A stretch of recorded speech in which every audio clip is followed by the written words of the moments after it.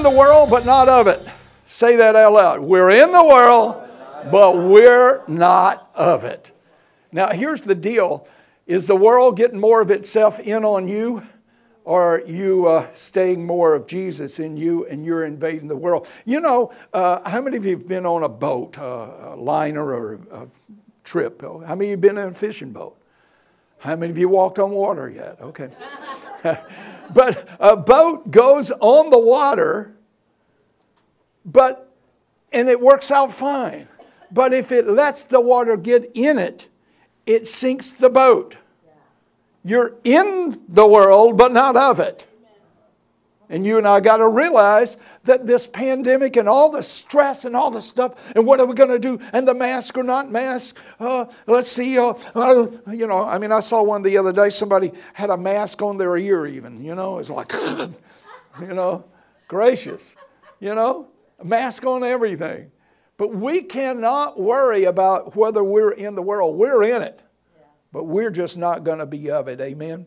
So I give you a caution coming ahead. I'm, this is a spoiler alert. You're going to like the message. It ain't going to feel good, but you're going to like it. Turn to your neighbor and say, This is probably for you, not me. He's not talking about me. Second Timothy says this This know also that in the last days, are these the last days? Perilous times shall come. So why should we be shocked? Have you heard about the COVIDs? You know, did you get the COVIDs? No, have you, have you been bothered by it? Oh, we got to be use caution. Listen, if if just because they started saying wash your hands, this is the first time you've washed your hands, you're in trouble. Hopefully, you take showers too. You know, in the last days you shall have perilous times. That's these times. The Passion says, but you need to be aware that in the final days the culture of society will become extremely fierce and difficult for the of, people of God. Say, that's me. I mean, that, that, that comes with a territory, but it does not shake our position, nor does it shake our attitude about those that are going through it and don't know God. They still need to know Jesus. Amen? While you and I are concerned with what's going on, our restaurant's not open and we can't buy but one package of toilet paper. There is real life changing circumstances going on else in the world because of your faithfulness. So be, be, be encouraged by that, okay? Now, look, look at this. I want, I want to bring you through these. I shared this with you the other day, and you've read it on your own. But the passage says that the final days, the culture of the society will become extremely fierce and difficult for the people of God. This war that we're in is not about Democrat Republicans, it is about light and darkness. Face it, get used to it. The message says, don't be naive. There are difficult times right in front of us. So everybody say, I face, difficult times. But, I am an overcomer. Help your neighbor out. Tell them to say it with more cheer. I face, I face difficult, times, but I, am an overcomer. Amen. The message goes on to say, as the end approaches, people are going to be self absorbed, money hungry, self promoting, stuck up, profane, contemptuous of parents, crude chorus. When's the last time you've seen so much profanity on TV, on Facebook, in public, at the Walmart, at, at you know, just ridiculous stuff? Pastor Rosella told us a story the other day. Last Sunday, she after lunch, she went to a home uh, goods store and she was going. Last Wednesday, when was it you went? Where did you go? Part, and it home goods store. I thought that's what you went to. Yes. Um, you went to this home goods store and she got accosted by people trying to tell her, or with this one person, her mask had a certain statement on it uh, about America being great. Yeah. That's all it said. Yeah. Are you for that or against it? I'm for it. I live here. right? I don't care who said it. I'm for it. Yes. But she got accosted for doing that. And then the woman chased her around and chased her around. Then, and then finally she just had to leave, you know. And, uh, but the world is going to be coarse, rude, and, and obnoxious. It goes on to say it's a dog eat dog, unbending, slanderous, impulsively wild, savage, cynical. Not only cynical, but, but they're going to be this. They're going to be treacherous, ruthless, bloated, windbags. Have you notice that people don't like what you like? Got a lot to say about what you don't like? They got a lot more words, and all you have to say is, God loves you and I love you, and you can't do nothing about it. Uh-huh. And you got to tell them, look, hey, your future's bright if you get out of that funky thing you're in right now, you know. But look at this bloated windbags, addicted to lust, and allergic to oh, God. That's the society we live in now. I'm not telling you anything new. You know all of these things. And uh, these, these can be, as Miss Cheryl said, and, and uh, Brother Copeland said a couple of years ago, these can be the best of times. I'm declaring that in this house they are the best of times. You should be the healthiest right now. You should be the most prosperous right now. Did you hear what uh, Zachowitz said? He, uh, he was on unemployment, and his unemployment check was really, really good. So he even notified me. He said, I'm going to be at church on Sunday and I'm bringing some goodies. Hallelujah. Glory to God. Be happy for him, would you? Come on. These are the best of times, but you got to change your attitude about things. You got to realize that we're in the world, but not of it. We don't have to put up with the stuff that's going on here. Now, let me take you to Romans, if you'd be so kind to turn. Romans chapter 1, verse 1 and 2. In the little time I got left, I got to get your thinking, help you with your thinking because it's not necessarily going to get better right now. You and I have to face the issue that there's still stuff coming. But I believe personally, and I'll say it to everybody watching, I'll say it to you all out there. I believe personally that these are going to be the best times of increase for believing believers and the worst time for non believers. Pastor, that's too selfish. No, it's not. You get on God's sides, and I don't care where you're at. You can be in the desert and you'll prosper. The Jewish folks were sent back to the worst of the worst of the worst desert, and they prospered. Brother Savelle said years ago in Nigeria, the places around him uh, uh down there, they were having such prosperity that Kenya, thank you. Uh, uh, in, South Africa, in Kenya, the nation he was in, point being that people were prospering. People who didn't have bicycles suddenly got bicycles. Crops across the street wouldn't grow, crops where the believers were would grow. Well, shout amen, that can happen for you. Not one air conditioning unit, more than one air conditioning unit.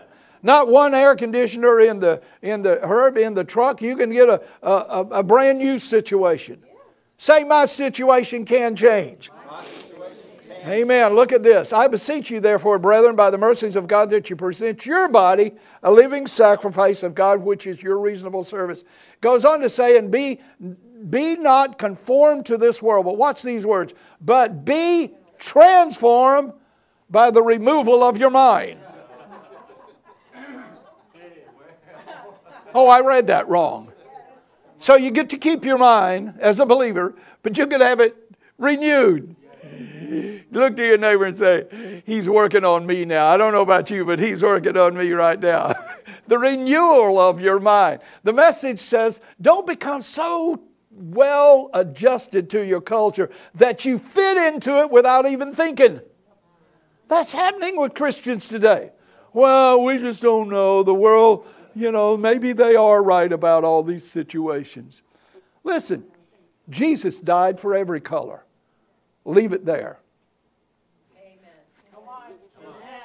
This has nothing to do with pink, chartreuse, yellow, black and white. We're all, it has nothing to do. Jesus died for us all. Hallelujah. Don't become so well adjusted to the culture that you fit into it without even thinking about it. Fix your attention on God. You'll be changed from the inside out. The message goes on, the rest of this verse says, readily recognize what He wants from you and quickly respond, unlike the culture around us, always dragging you down to its level of immaturity. That's the way they do it. If you fight them, if you, uh, you you're just you're just racist. You're just you're just that name it claim it group. yeah, and you are too. Because you're naming your situation and you're having exactly what you say. Don't let the culture drag you down to its level of immaturity. God brings the best out of you. Say, God brings the best out of me. You want to know a you, new friend, a real, real, true friend? They bring the best out of you. You sit there and whine and carry on, and they don't say, Oh, I'm so sorry. Oh, it's just so tough. Oh, it's just, oh, it's awful what's happened to you. I, I don't know what to say. Yeah, you know what to say. Dry up, pal. Cut it out. You know better than that. You got you got to your best friend ought to be the one that encourages you the most. Don't dra- get dra- uh, drugged down to their level of immaturity. God brings the best out of you, develops well formed maturity in you. The Passion says it this way in uh, Romans 12 2. Stop imitating the ideals and opinions of the culture. Come on. Well, Pastor, we have to be tolerant. Oh, really? No, you have to walk in love. Thank you, Pastor Cheryl. She said that's different. I don't have to be tolerant of them. And the them is the wrong word. I don't have to be tolerant of anything or anybody that's contrary to the word. I can love them, I can help them. I mean, in South Georgia, we had an easy way out on that one. When something was different, that's exactly what we said. Well, bless your darling heart, that's different. It was, it was a southern way of giving an insult. Well, that was different. Look at this. Be inwardly transformed by the Holy Spirit through a total res- re- reformation of how you think. You don't change how you think with more thoughts. You change it by what's on your inside coming up through your mouth, in your brain, but out in your mouth and saying it. How many of you have ever been guilty of uh, talking to somebody and all of a sudden you, something will come up in you and you'll say it and it's just what they needed and you said, I never thought of that before. Where'd that come from? I say that quite often. I, I, I, firmly believe the more word you get in you, the more word that will come out of you. The more of the world you get in you, the more of television you get in you, the more politics you get in you, the more nasty words you allow in your house, the more that'll come out of you. Is this the right group here today? Okay.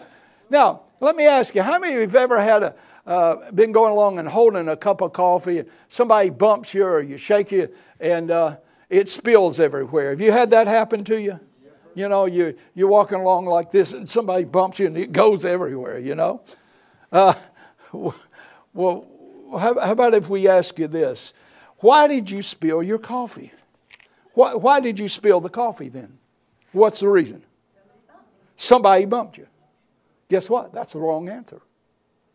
Well, they did. They bumped me. Well, I got that. But why'd you spill the coffee? You spilled the coffee because there was coffee in the cup. Can I help you? Had there been tea in the cup, you would have spilled tea. Had there been chocolate milk in the cup, you would have spilled that. Whatever's inside the cup is what's going to come out. You're in the world and not of it. So, you have to ask, what's in my cup?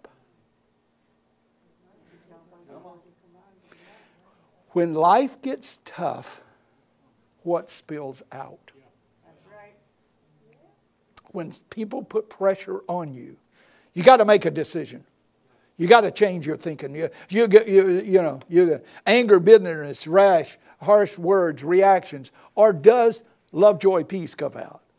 Or do you get to say, well, I'm seeing from a different perspective, way up high, this is not how this is going to turn out? You see, life will, essentially, God provides the cup, but life will help you fill your cup with stuff. You and I need to decide my cup runneth over with the things of God. Amen. Therefore, I submit to you today as I uh, get close to maybe closing. Uh, I submit to you that as a Christian, you should never think about being average, normal, ordinary, lukewarm, but you should continue to strive to be radically abnormal. You know what the world looks at when it sees people who are successful and all? They see people who made a decision when nobody would encourage them. They stayed with the decision. Then, when popularity came, they put that to the side because they had a higher goal to get to. They put that aside. They kept going forward higher, higher, higher. A winner of a race, a car race, a foot race, any kind of thing, is one who's known how to go past the limit of just getting across the line. It's in them. You can't get it out of them. It's there in them.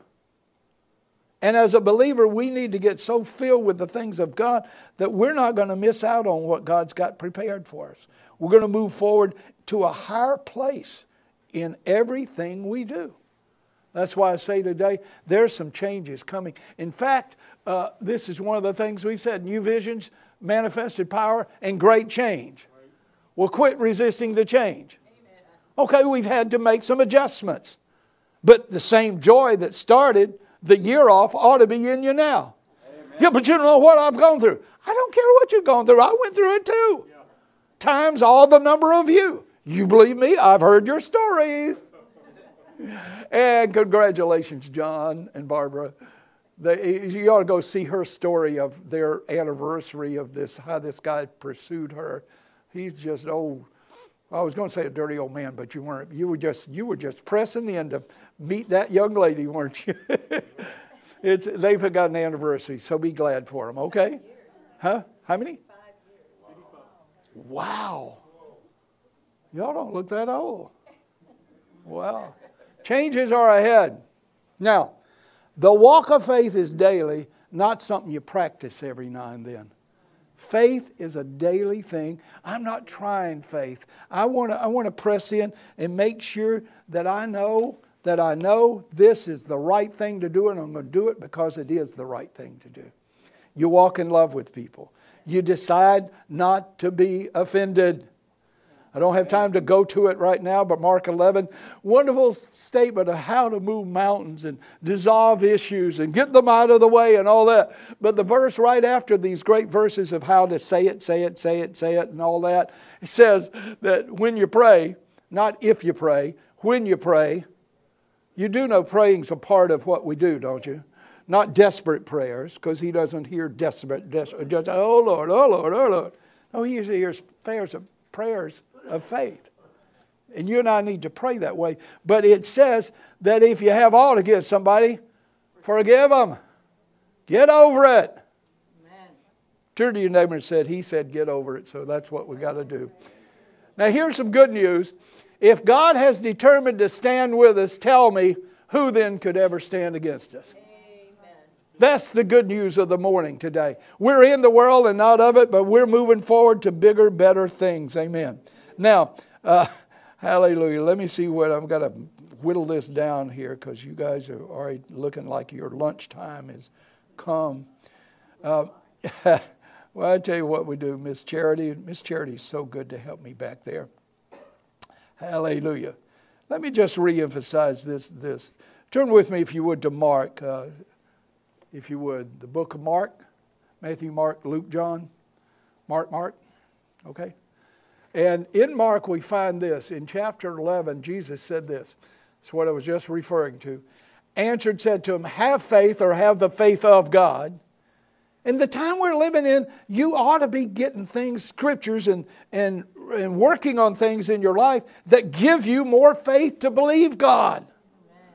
I mean, think about it. Many of you in this room have not worked in weeks and months. But you still got clothes on your back. Hopefully, you got, were able to take a shower and wash your hands. You got your clothes clean, and it doesn't look like any of us have missed meals. I mean, the COVID look before and after COVID is quite sizable. It's, you went to the back end of the closet and got those clothes that way back there that you had to wear. I'm telling you, it's happening. It's happened. Here's what he said Have the faith of God. Whosoever shall say, one, this mountain be thou removed and be cast in the sea, and shall not doubt in his heart, but shall believe that those things which he has said, saith, saith, shall come to pass, he shall have whatsoever he saith. Therefore I say unto you, whatsoever things you desire, when you pray. How many of you have a routine of praying? You do, honestly. How many of you not going to raise your hand no matter what I say? Okay. Believe, thank you. That, that you receive them and you shall have them, verse 25. And when you stand praying, forgive. Forgiveness is the attitude of, I'm going to wake up every day with a spirit of forgiveness on my heart. I am not going to start this day out thinking about that stupid thing somebody did to me because they didn't do it. You took offense. Whether they did, oh, they're going to get away with it, right? No. God has a way of helping them, just like He did you. When you pray, forgive them. It sets you free. Amen. Glory to God. I'm telling you, I've had conversations in the last couple of months and texts from people and uh, I made a decision this past week with my blog to uh, contact some folks that uh, weren't necessarily always the nicest. And uh, I, I've just had to just work my way through blessing people. I love it. Because now I, I don't think of them as being a problem. I just think of, well, bless their darling hearts. I've got my part done. And you mean they don't have to come to you and kneel before you and ask you to forgive them? No. It's over with on that. When you stand praying, forgive if, they, if you have aught against any, that your Father also, which is in heaven, may forgive you your trespasses. And that is wonderful to know that. Amen? Amen. The, uh, another translation, Passion says, But if you will not release forgiveness, let it go. Shout it out loud. Let it go. Don't expect your Father in heaven to release you from your misdeeds. It is the way we're going to get through all of this stuff. There's a higher level of things coming to us. Amen? Miss Charity, take me, if you would, please, down to uh, right before our confession. Okay, there's a Jesus statement there. Hallelujah. You getting anything out of this? We've had prayer today. We've given. We've had some great, uh, faithful songs. Uh, I want it to bless your week because you're going to face some things this week, but you know what? It's going to be high sailing. You're going to be at the top of the wave because you can see, because you, you, you know how the thing's going to come out. Yes. Even if you go through one of those, you know, plagues that Israel went through and all of Egypt went through, we still going to get through it. Amen. Amen. Hallelujah. Well, turn to your neighbor and say, I'm glad you're here. You needed this today. Stand with me if you would. I want you to make this confession with me this morning. Hallelujah. And I've written a few different things in it. Help your neighbor up if they can't get quite get up as fast as you can. And those of you watching, get up off the couch, okay? Just just get up off the couch and join us. You'll like it. We're not going to make you dance. We couldn't see it anyway, but it might be fun if you did, you know. Here's our confession this morning I am a believer, not a doubter. So today I boldly declare again out of my mouth God has great plans for me, and none of his plans have defeat. I'm so thankful that the next 158 days of 2020 will also be so very, very glorious. My future is still full of visions, dreams, and great changes of increase. Say it again great changes of increase. Great changes of increase are coming my way. Go ahead and laugh now. Ha, ha, ha, ha. Turn to your neighbor and laugh. Go, ha, ha, ha. My future is so very bright. I declare there is a great blessing on me and my family and on this church. I absolutely rebuke all sickness, disease, poverty, lack, confusion, stress, and despair. I speak life into my family, my kids, and my grandkids in Jesus' name. I choose to live by faith, always walk in love Praying so so that we can know how wonderful a Savior Jesus is. So I boldly say, get a breath. Come on, ready? I am a believing believer, not a doubt. Say it this way. Look up here. I want you to do it this way. I am a believing believer, not a doubter. Let's say it again with some force. Now get some air. Ready? I am a believing believer, not a doubter. So I shout. Come on. Come on. Come on. Oh, come on. I am an overcomer. Thank God. Thank God. As you lift your hands, know this is a truth. I've said it for over 20 years. Anytime I've ministered somewhere in the 23 different nations and all the places we've gone, I've said this for years. You have great favor upon you. You have great wisdom upon you. You have great increase making its way into your life, spirit, soul, body, financially, and socially. And you have wholeness in your body and boldness on your lips. Amen. Do not deny the boldness coming out of your lips. Because if you start denying it and going, well, I don't want to offend anybody, you need to, you know, don't spill your cup and say, well, you bumped me, is why it happened. It's called what's in you is not enough. Boldness comes from what's in you. Not become, because of who you are. Boldness becomes because you are convinced that the Word of God is the truth. And Jesus is Lord.